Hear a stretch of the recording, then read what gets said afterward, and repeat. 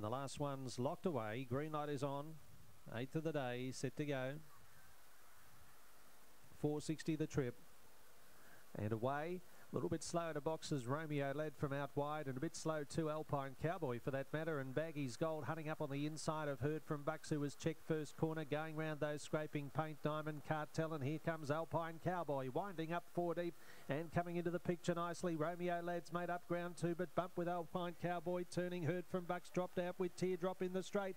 Baggy's Gold in front. Diamond Cartel's rocketing home. Oh, might have got up. Diamond Cartel over Baggy's Gold. Teardrop has rocketed up on the inside and might have grabbed third over Romeo Lad. It was the swoopers there. Uh, behind those Lethal Hawk, Alpine Cowboy, Wellback Scraping Paint, and Heard from Bucks in 26.48.